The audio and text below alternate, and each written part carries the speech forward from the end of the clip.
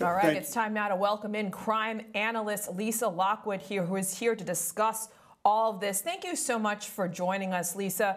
Lisa, it's day one of this trial. What sense are you getting of how they're trying to paint this picture of Amber Heard right now with the sister of Johnny Depp taking the stand? Well, with the sister, her making that incredible point of saying that they needed to have a separate hotel room on the ready when they traveled so that Johnny can extract himself from their relationship in case things got volatile. So, what that says is that Amber was the aggressor. And it's an important point to bring forward because it is a he said, she said. Johnny was never charged with domestic violence. He was never arrested for domestic battery. She was never arrested and charged with it. So all we have right now is the complete dependence on the people who are in their inner circle, what they are saying, what they witnessed, and what behaviors were different in the relationship with Amber and his previous wife. And I think it's interesting to ask this question because it's so early here, but you know, for viewers at home and, and for us who are wondering, why do you think Johnny Depp is suing for $50 million and then Heard is countersuing for 100 million? Does this seem all a bit outrageous? Well, it does. It really does. And I do question all of it because we've got the divorce, which was incredibly public and ugly. Things had come forward in that divorce that really harmed both of them. Then we have a separate lawsuit with the Washington Post and the op ed, and that put him in a very bad and negative light. So, what does it come down to now? It comes down to both of them and their loss of income based on all of the negativity that came forward by choices that they made regarding the suing and the countersuing from 50 million to 100 million. So I think it's a power move on Johnny's part because he wants to clear his name because of what was said and then also on Amber's because now she's part of the ACLU, she's part of the Me Too movement, and it needs to be, uh, she needs to continue with that platform to stand up for women if she intends on being congruent with what happened happened to her. Definitely a lot of eyes on this trial as it continues to unfold. We're going to take a short break over here, but when we return, we have plenty of more of the Amber Heard versus Johnny Depp trial. Stay with us. You are watching the Law and Crime Trial Network. All right, it's now time to welcome back our crime analyst, Lisa Lockwood. Again, Lisa, this case is about the Washington Post op ed, but do you think the parts Benjamin Chew highlighted are worth going to trial for, especially since Heard didn't even mention Depp's name.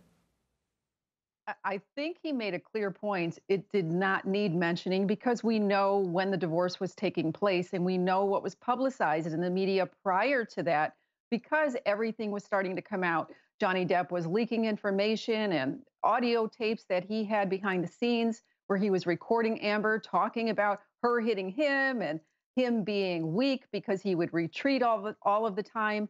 Um, so he he would fight back. It, it, was back and forth. We have two people who were uh, co-combatants in these scenarios.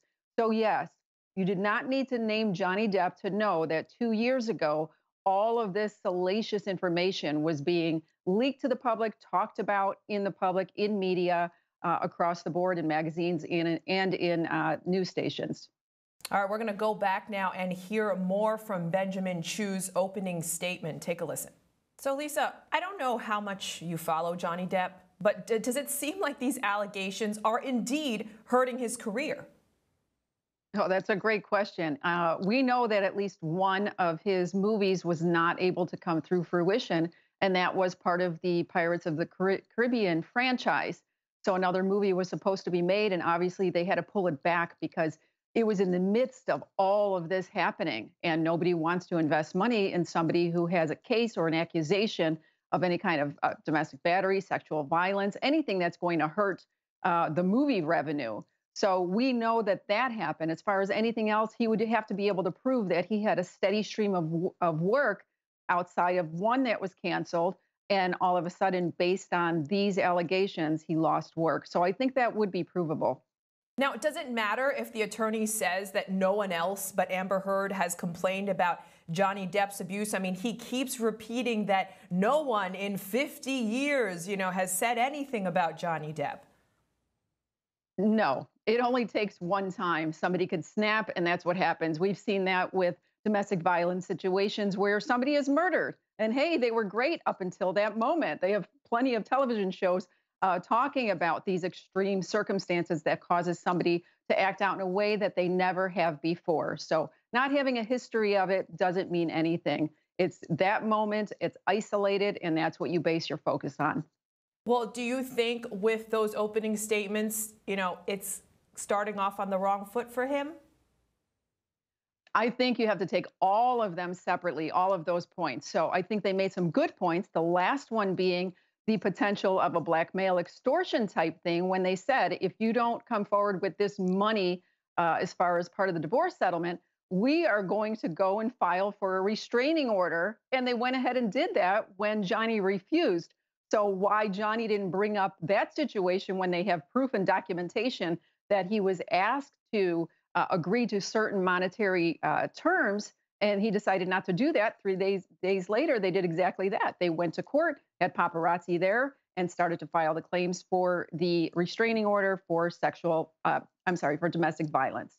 There are certainly so many fascinating facets to this case. And it's time now for us to take a quick break. There is so much more trial coverage ahead here on the Law and Crime Network. We'll eventually go back live to the Amber Heard versus Johnny Depp case. So stay with us. We'll be right back.